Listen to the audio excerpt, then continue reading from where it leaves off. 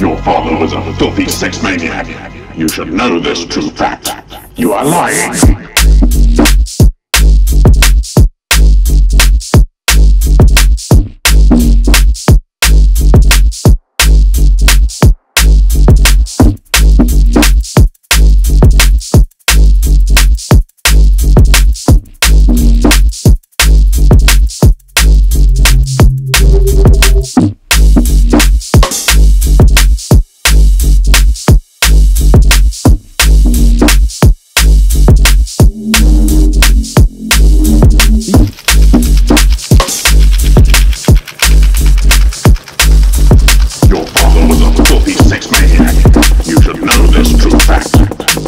Mix.